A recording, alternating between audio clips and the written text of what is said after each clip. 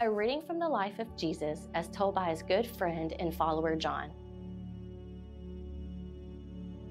Early on the first day of the week, while it was still dark, Mary Magdalene went to the tomb and saw that the stone had been removed from the entrance. So she came running to Simon Peter and the other disciple, the one Jesus loved, and said, They have taken the Lord out of the tomb, and we don't know where they have put him. So Peter and the other disciple started for the tomb. Both were running, but the other disciple outran Peter and reached the tomb first. He bent over and looked in at the strips of linen lying there, but did not go in. Then Simon Peter came along behind him and went straight into the tomb. He saw the strips of linen laying there, as well as the cloth that had been wrapped around Jesus' head. The cloth was still lying in its place, separate from the linen. Finally, the other disciple, who had reached the tomb first, also went inside. He saw and believed. They still did not understand from Scripture that Jesus had to rise from the dead. Then the disciples went back to where they were staying.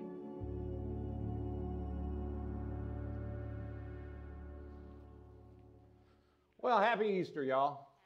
We are so glad you're here. I hope you've already been welcomed by everybody. My name is Ed, and I also want to welcome you. We're so honored you came uh, to spend a little bit of your day with us today. I've been around here for a long time, and every Easter I start by saying the same thing Easter is the whole deal for Christianity. There isn't anything else other than Easter. Other religions have their high holy days, and they're really important, all of them. And a lot of publicity goes into in our country of saying that Christmas is the deal for Christianity. Christmas is the deal for merchants in the United States. It is not the deal for Christianity. Christianity rises and falls on the Easter. Everything is based on Easter. If Easter were proven untrue, the whole thing, it would go down. But on Easter morning, like you just saw, nobody expected it to happen.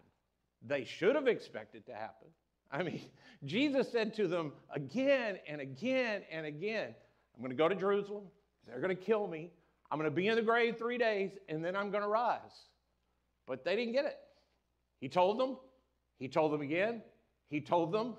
And every time, apparently, they thought it was a parable or an analogy. We don't really know what they thought because they never asked him. Uh, they didn't understand it, like they didn't understand a lot of things he said. When he arose from the grave, it blew their minds, not because they got it. You just heard it again. They did not know that he had to rise from the dead. Even though there was no body, they were not expecting there not to be a body in that tomb when they went to that grave. And the truth is, I think most Christians really undersell uh, the resurrection. It's why every Easter I talk about basically the same kind of thing in a different kind of way about the importance of Easter and the importance of the resurrection. And that's what we're going to talk to you about today in a little bit different kind of way. When you think about Easter, when you think about the resurrection, what's the importance you place on it? I mean, what would you say to somebody if they said to you today, What's the importance of the resurrection to Christians? I mean, if you think about Easter, which you probably don't all that often except like now, what's the importance you put on the resurrection?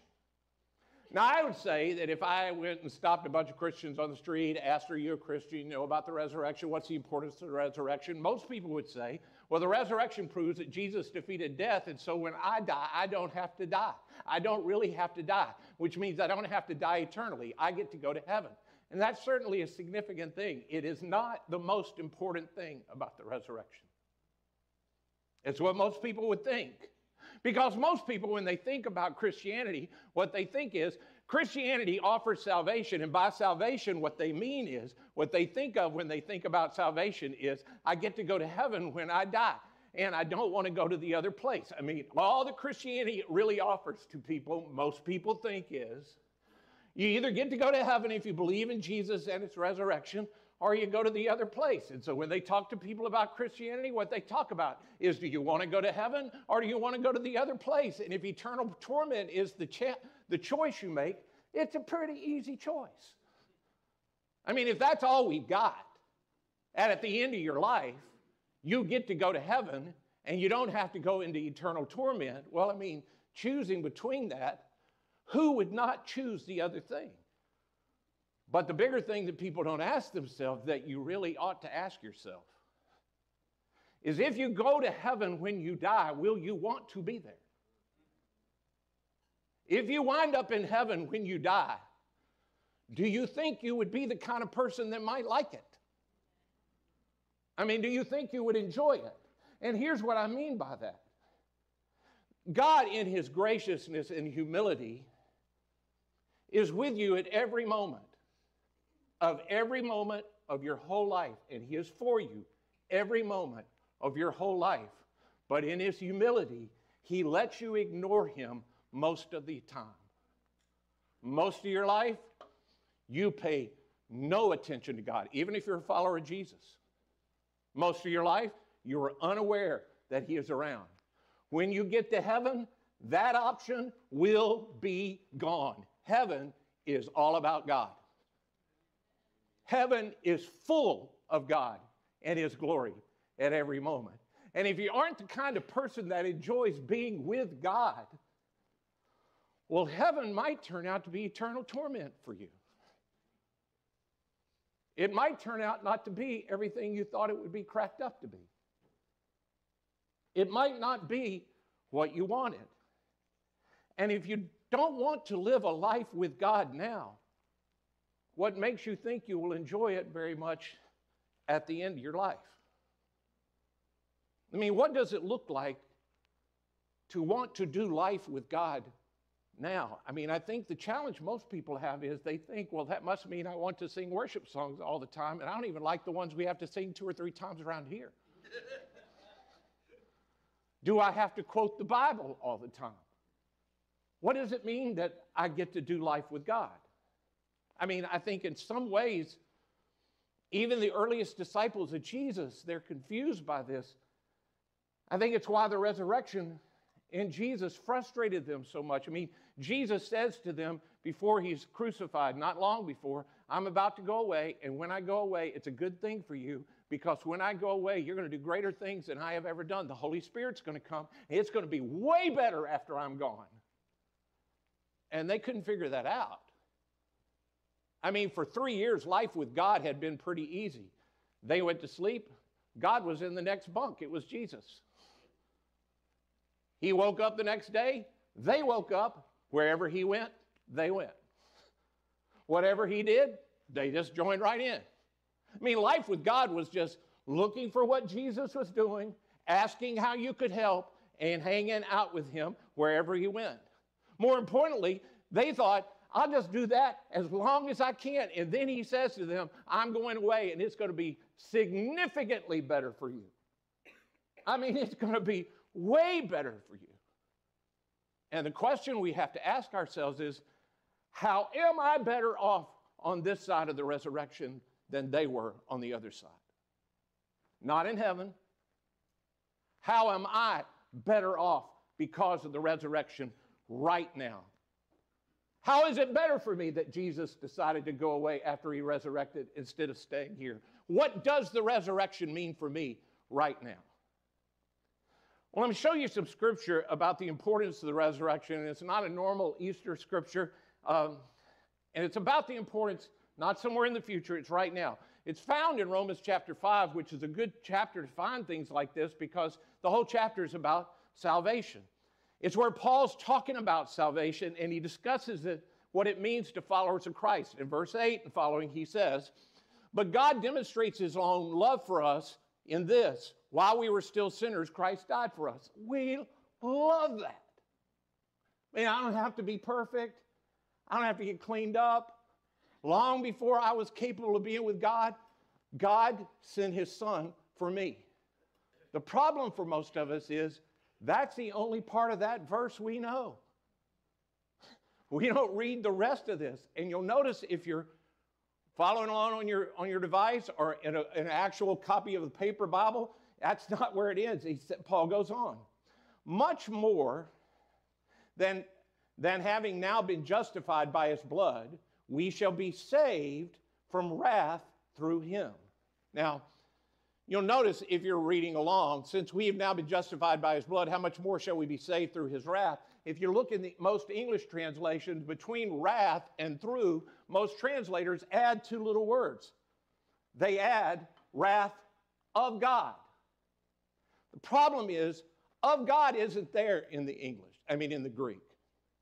They add it in because we so often think the problem I have with God is God is mad at me. And they've got to add in wrath of God to make sense to English speaking audiences because that's what you think. But the Greek doesn't say, I'm saved from the wrath of God, just from wrath. Here's a question I have for you You ever need to be saved from your own wrath? Some of y'all don't have no problem with your own wrath. You haven't done some things in your life when you were angry said some things to people you would die for that you wish you hadn't said? Ever had to look around at some people you really care about and you know they needed to be saved from your wrath? I mean, all the confusion that's at work in our world. I mean, think of the mess that is our world, how much of it is caused by not God's wrath, our wrath. I mean, look at families falling apart. Why? Somebody's ticked off at somebody. I mean, people that stood in front of their family said, We're going to do this forever. They can't do it for another day because somebody's mad. You look at the wars going on around the world because somebody got angry at somebody else because some imaginary border that somebody made up before they were born. And people fight and kill over wrath. I mean, think about the child abuse and the school shootings and the mess in our world, all the rest because of wrath. And if you read a little bit more, he goes on to say, For while we were enemies, we were reconciled to God for the death of his son, by the death of his son is what that should say. Much more, having been reconciled, we shall be saved by his. What's the next word? What do you think the next word is? Saved by his by His grace, by His teaching. It's saved by His life. Not the life before, because we, we just read He died. He came back to life. Christ is risen. He is risen indeed. He is alive right now. He is alive in this world right now. He is at work in this world right now. And those of us who choose to do life with Him, we are actively, right now, being saved, not by His death, not by His grace, not by His teaching, by His life. His life that is at work in us. And where is Jesus alive? He's alive with us all around us. You just have to look. You have to begin to see it. See, better than thinking of salvation as some place you go instead of another place you don't want to go, salvation, Jesus clearly says in, in John 17, these are my words salvation is being caught up in the eternal life that Jesus is now living on the earth. Salvation is you and I getting caught up in the salvation that he is the life he's living. Where is he living it? He's living in an ordinary people that choose, this is what we've been talking about for months, choose to do interactive life with him. Choose to walk around and say, Lord, what are you doing right there? Can I join? Lord, what are you saying that I should do right now? He lives in those who choose to give up living out their own stories and asking Him, begging Him to do something in the story they're writing, giving up their own plans and dreams of their lives, and instead jo- join Jesus in the life He's living, the life that He's reconciling everything on this planet to Himself, where His kingdom is coming, His will is going to be done on this earth as it is in heaven. Where there's injustice, inequality, He wants to right those wrongs. And if you will join with Him, He will do it. He will begin to correct it. We join him in reconciling relationships, places where our wrath, or the wrath of somebody else got out of hand, being caused us to be separated. We join Jesus to bring back the wholeness of God's love in this world because he, we have been reconciled by his death and we are saved by his life that he is living. And seated all around you this morning are people who are living that interactive life right now. How everything really started was when I retired. And then after a while, I was just looking for something to do. The hard thing about it is just to experience or listen to what these children have been through. That's the hardest part for me. And to wrap my head around how mothers or fathers can do what they do. Um, that that really that really hits hard, you know. And I'm just so my heart is like water. Like my sister says, I'm full of water. Soon as something happened, I'm ready to cry. So you know, but then I have I had two little boys, and whoopee, they got adopted. just experience that and then find out that they got adopted. You know, it's like, ooh, you know, it, it really makes you cry and smile at the same time. And you'd be happy and sad for the biological parents, and then you're so happy for the foster parent, you know. So it's a double edged sword. My very first time serving, I was a nervous wreck. I was just, you know, clammy. I was nervous. I thought I was going to say the wrong things to somebody. Is this what I should be doing? Should they have someone like me, you know, being a face of a church? How could someone like me, with a past like me, be a face of a church? You know, how can someone like me represent Jesus in a way that he should be represented? So when I was 23, my little sister was 17 years old. She got into a tragic uh, drowning accident. So it was very sudden. We lost her. Um, she was my only sibling that I had, and she was my baby. I watched her come into this world, and I literally watched her leave this world. I was so angry at God how could you take someone so precious from me? How could you take someone so innocent, someone just has a full life ahead of them? How could you take that, take them away from us? I was already broken before, and I think that was just the final straw for me. I spiraled downhill. And people would try to come to me and tell me, you know, oh, let's just pray about it. And I would laugh in their face. They would tell me, oh, she's just in a better place. I would laugh in their face. How could you tell me she's in a better place when that person, when God's the one who came and took her away from me? And so I spent probably a good two years of my life just living a life of God's not real. He's not here. He's not for me. And no matter what I do, I have crossed a line with God now that I've told him I've hated him.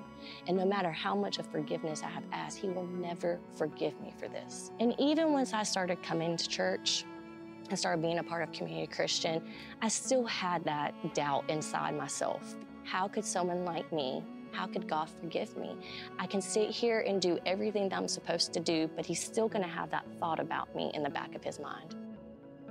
I would say I spent you know, the majority of the beginning of my life chasing after things of the world, and it ended up winding me up in prison.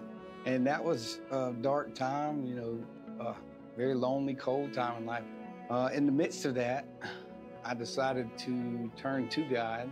I decided that I wanted to, you know, turn my feet in God's direction and walk after Him. And um, then I ended up finding this as my church home you know, my experience with church in the past was um, very, I guess, what the world sees church as very judgmental, very, uh, you know, not come as you are like this church is. So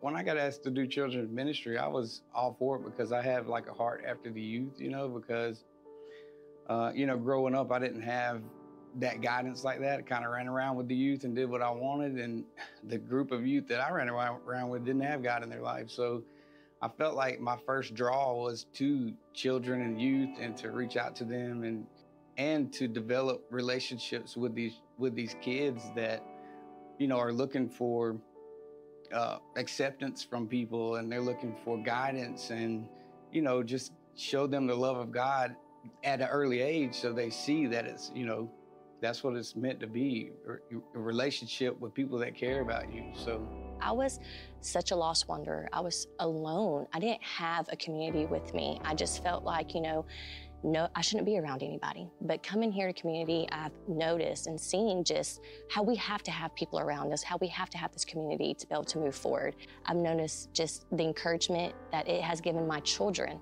it's given my three daughters. They see their mom serving and loving Jesus with her whole heart and encourages them to do the same. It, and it also encourages me to see that my daughters don't have to grow up like I grew up. They get to grow up knowing Jesus from the very beginning and they get to feel his love and get, be able to love him back, you know, their whole life. And I'm so grateful for that. It's interesting. It's also a little heartbreaking to see that you so many people that don't have anyone to just come and say hi. Because sometimes when we go and deliver meals, they want you to just come and say hi, you know. If God didn't put me in that position, because He was the one that really put me there, if it wasn't for us, what would some of those people be? You know.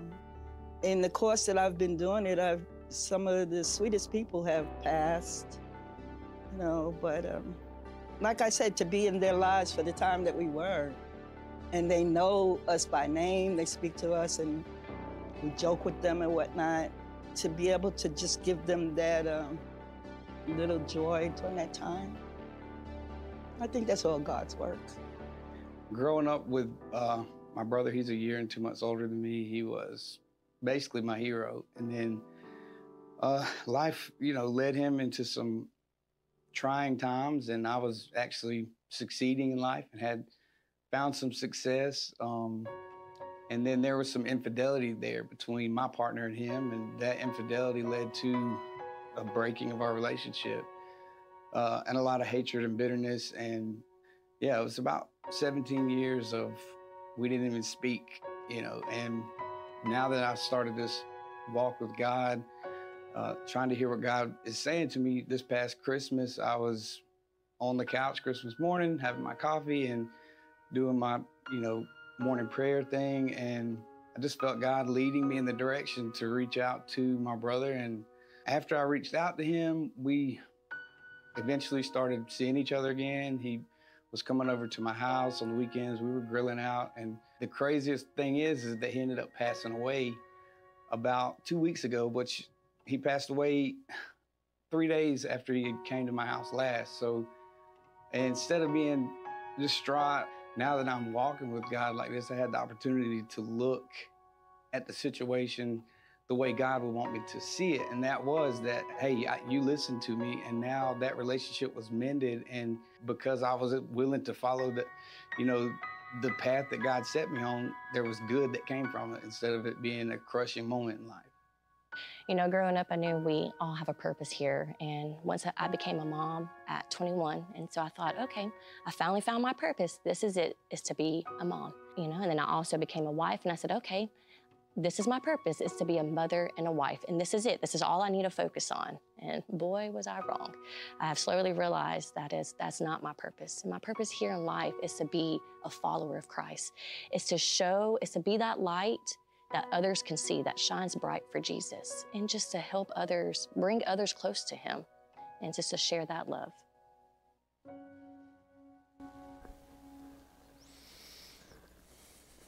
So, that invitation of doing interactive life with God is the opportunity to join our lives to the life Jesus is currently living in our world that you just heard spoke about.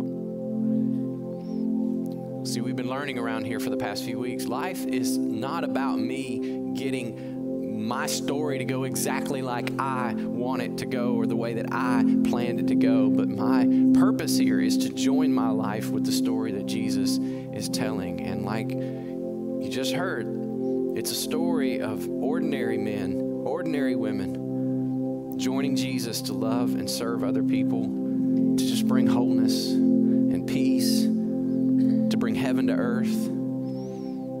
See, Jesus said this was a life, if you would choose to live it, that would overflow with peace and joy and love more than you could even imagine. So before we go any further today, I want to ask you a question.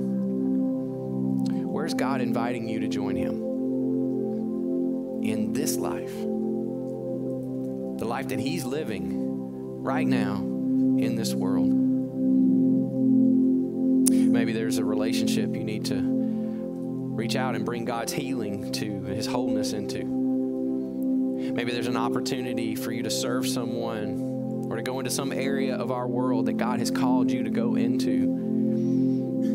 Maybe there's just something in your own personal life God is inviting you to give over to Him. Maybe you're new to church, maybe you're new to faith, and or maybe you stayed away for a while and now you're trying to come back. And your next step is just simply this just come on back. Come on back next week. Or maybe you're ready to take a step into our community and it's time for you to sign up for next steps and investigate life with God in our community. I don't know what your next step is, that's between you and God. And it can, might feel like I'm giving you a lot of thoughts and a lot of information, so I'm going to just stop talking here in a minute. And I'm going to give you some space, some quiet. And I want to give you this time to reflect, talk to God, and ask Him how He wants you to join Him in the story that He's telling in this world. And after you've had that time of prayer, our band's going to come and they're going to lead us in a song that celebrates the life and the death and the resurrection of Jesus, but not just the life that He lived 2,000 years ago. We're celebrating the life He lives right now among us. So you take a moment, talk to God, and then we'll sing.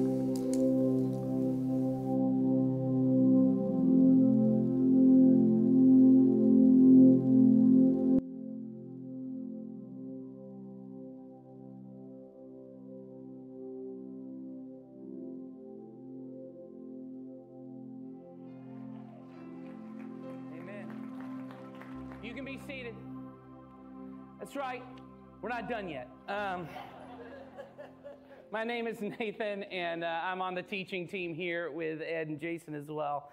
And, uh, you know, anybody who follows Jesus in their life has a moment, uh, and probably multiple moments, when their story intersects with Jesus' story. And one of those moments for me in my life was actually uh, in a really powerful way on Easter morning in 2020. Uh, 2020 was one of those moments, I think, in everybody's life where uh, your story was not going to go the way you planned for it to go. Uh, you had things that you thought were going to happen that year, and they did not happen. Uh, for me personally, it was really trying. My career had just shifted, and in fact, a lot of the things before the pandemic that I had started that I thought were going to be the next five years of my career suddenly all evaporated. And at the same time, I was asked to kind of take a bigger leadership part of our church. And that happened right about the time we went through a global pandemic and no one knew what to do. And uh, so it was really uncertain. It was scary. At the same time, my family had just grown from three to six as we had just adopted uh, these three beautiful girls. And uh, actually, at the time, we were still just fostering them. And so everyone's now stuck at home together all the time. And there was a lot of things that were just uncertain for me. They were uncertain uh, for my wife. It's certainly for my children and their future. I just, I didn't know how things were going to be. And whenever you get to a place where you're not sure what to do, all you're kind of left with are just anxiety and stress. And so I felt alone because much of my relational support system, we were cut off from one another. We couldn't be physically together. And here we were on Easter Sunday in 2020, and we were not able to be physically together as a church. I'm sure all of you who at least were here with us remember what that was like. And I'm at home trying to lead these four children to understand the importance of this day, but inwardly, I'm not doing well. Emotionally, I'm not doing well. Spiritually, I'm not doing well. And in many ways, this is where I think the disciples were on Easter morning, as Ed has already talked about here, that the future they had planned. We're going to follow this guy. He's going to be king. There's going to be a kingdom here on earth, and we're going to be the right hand guys. It's instantly gone. And they're heartbroken.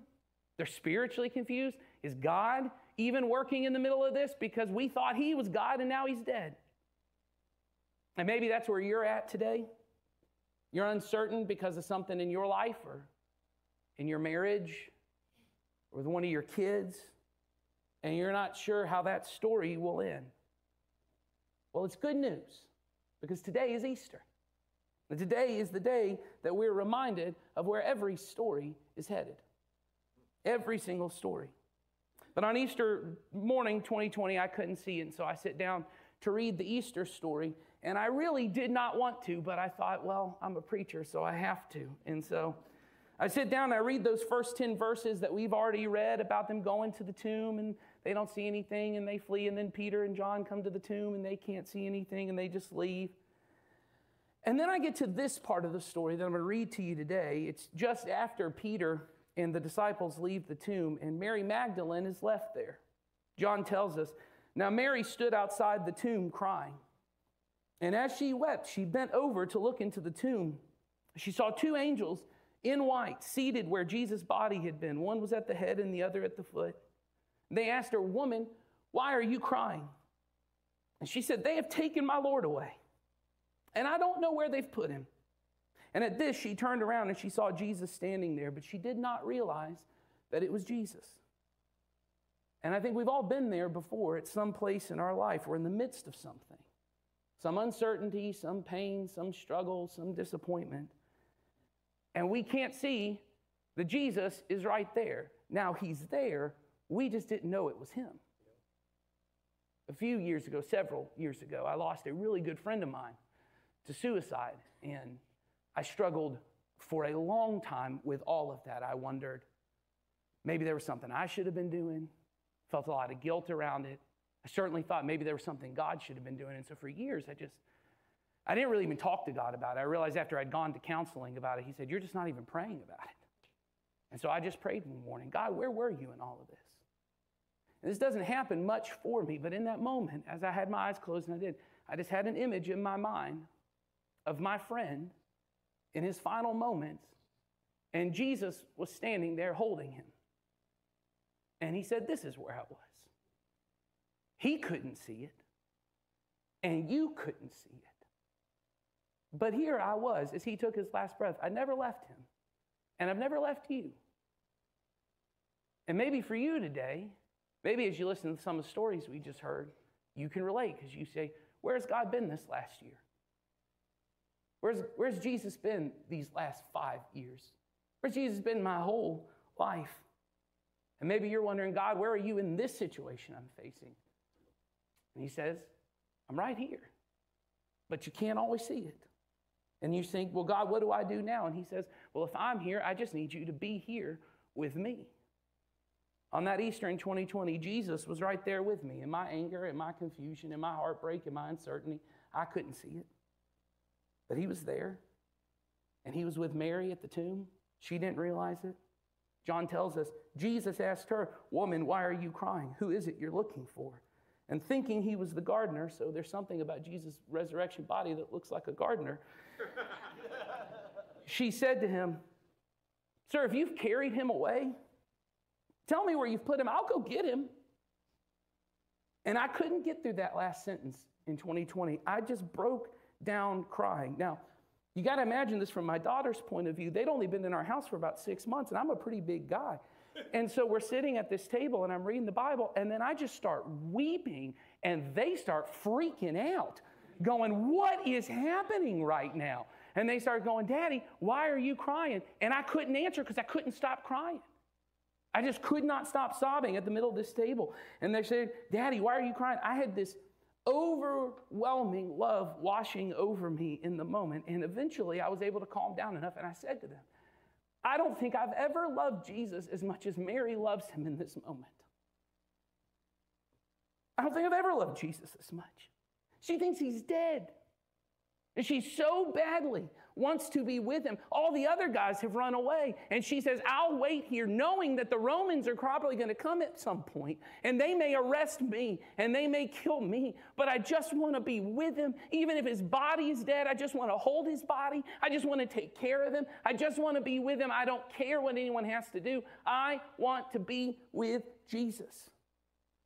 And what happened for me in that moment is that I remembered why it is that I follow Jesus. It is not because I thought he would bless my story and make it turn out the way I thought it would be, or that I had these children and I had a way I wanted their story to go. And I thought, you know, if I follow and I pray enough, he'll fix things for them long term. Or that I thought even one day he'll take care of my afterlife. It's because every moment of my existence, Jesus has been holding me, he has been with me.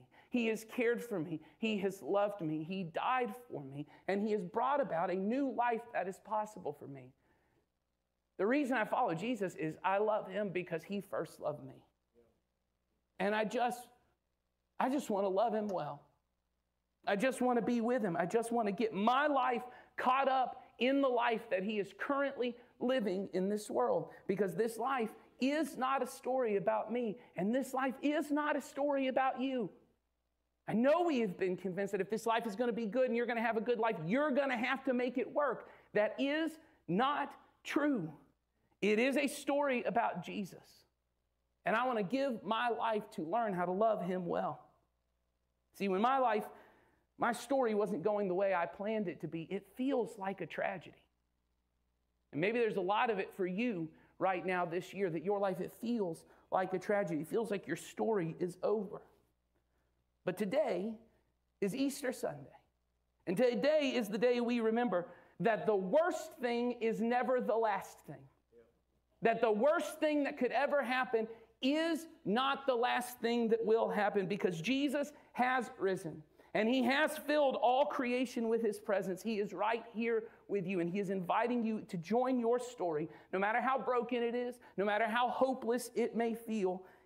Just join it to his story. He is inviting you into a story where you can be fully known and fully loved, and you're able to know and love the God who created you. And it will not be the story that you had in mind for yourself.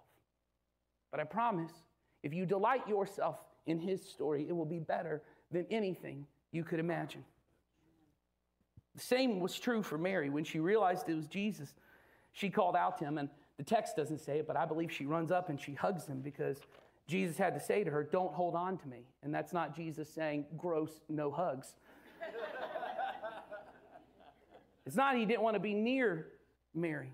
I think because he knew she was holding on to him because she was holding on to the old story she'd planned. He's back. It's just going back to the way it was before. It's just everything's going to go back. He's blessing the story that I had planned before. He would he would be with me, but he says, "Don't hold on to me because I have to return to my Father. And as Ed's already said, when he returns to the Father, he will come and dwell within her closer than when he was standing there, right there where she could hold him. That the Holy Spirit would descend. And he says, This will be better. But even more than that, he says, Don't hold on to me. Go to my disciples and tell them. And he says, Tell them that you've seen me. Jesus had a new story in mind for Mary that she couldn't see, that she, in fact, would be the first preacher of the good news. This nonsense that we have that maybe women shouldn't teach is ridiculous when Jesus himself t- told Mary, You're going to be the first preacher. You're going to be the first one to go out and say, Jesus is risen. He is risen indeed. She was the apostle to the apostles. And so he says, I have this story in mind for you. It is better than you could imagine because it's my story, not your story. That's my hope for you this Easter. That no matter what's going on in your life, where you are in your faith journey, I hope first that you would see that Jesus is with you. And that mostly it would just fill your heart with love for him. That you also would want to join your story to his story. But that means you have to stop holding on to your story. You got to let it go. And if you're not even sure you believe in him, my prayer is that maybe today, with what you've heard, even if you're not sure you can believe in him, maybe you want it to be true. That you want it to be true, and that maybe you'll keep coming back and you'll try to figure out what your next step is with him. Because the greatest story possible for your life is the one where you let go of your life and you let go of your story and you get your life caught up in the life that Jesus is currently living in this world. And that mostly is not a life about what he wants you to do for him. It is mostly a life about you loving and being loved by him. And there is nothing better than that. So, as we end, we're going to honor Jesus by receiving this meal of love that we call the Lord's Supper. And I've invited Jason to come and lead us in that. Which I am now in no shape to do. It's been this way for the past year for me when I sense the presence of Jesus the way Nathan just talked about. I'm just a mess. But here we come every week, you know, and we gather in places like this and we receive this meal. And for those of you who are new, this is called the Lord's Supper. This is communion. And it's just a, a time that we simply sit with Jesus. And we get a chance to thank Him and be blessed by the amazing gift of His love that He gave through His body and blood when He gave it on the cross. And we do this in very tangible way. We take emblems of bread and juice, and they just are embodiments of the blood and the body of Jesus that minister to us. And again, if you're new and this is weird to you and you're not even sure you believe all that, I get it. And I can understand how that sounds really strange and you're weirded out by me being so emotional. I get it. So during this time, if that's where you are, that's okay. Don't feel obligated to participate, but just reflect during this quiet time. Think about what you've experienced. If you'd like to take a risk, would you pray? Ask God if He's real, that you might know Him more and make He would make Himself real to you. Because we believe there's something powerful about this meal, where the presence of God is somehow just closer to us. This is not just a ritual for us. This is an opportunity to commune with the one who loves us more than we can even imagine or take in. It's a reminder he is so near to you, whether or not you realize it. He is closer than the bread you will eat, He's closer than the cup you will drink from. He is right here with you. Jesus is with you. And if you just be open to meeting Him today, He wants to share this meal with you. He wants to share His presence with you. And as we do, today we're going to do it a little differently. When I step down from the stage, our band's going to begin singing a song to you for you to just sit with Jesus for just a few moments and be reminded of how beautiful He is, how wonderful He is, how powerful Jesus is. And what a blessing it has been that we got invited into life with Him. It's hard to take in, isn't it?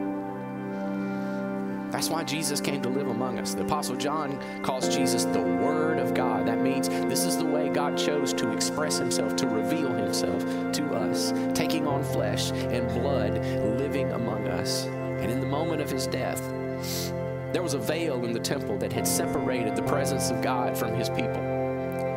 And as soon as Jesus took His last breath, that veil in the temple split in two. And the separation between God and people was gone. So now he's with us. And because of the death and the resurrection of Jesus, that means that nothing is ever going to separate you from life with God. So that's what we're going to celebrate today. So as the band sings this song to you, I want to invite you to eat and drink the symbols you were given when you came in the room. And then in a, in a moment in the song, they're going to invite you to stand and join with them. So take time right now and receive communion. Hey there! Thanks for stopping by to check out this message. If you've been feeling the call to take your next step in following Jesus, we're here to support you every step of the way. Feel free to reach out to us at community christian.net or connect with us on any of our social media platforms. And hey, I'm super excited to share that we've got two amazing podcasts you might really enjoy. First up, there's Three Peas in a Pod where three of our speakers dive deep into questions about the Bible and life. Then there's Not Great Parents, which is just perfect for us parents navigating the ups and downs of parenthood. Both of these podcasts release fresh episodes every week, so make sure to tune in and give them a listen.